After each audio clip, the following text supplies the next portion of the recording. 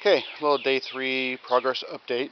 Um, forgot to check in earlier. So what we've done is remove the rear tires.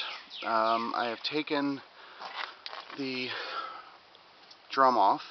I have released, uh, removed the lower control arm here, removed the spring, and removed the shock. So what we're trying to do is pull this rear end all the way out. Still have the upper control arms and the lower control arm on the other side.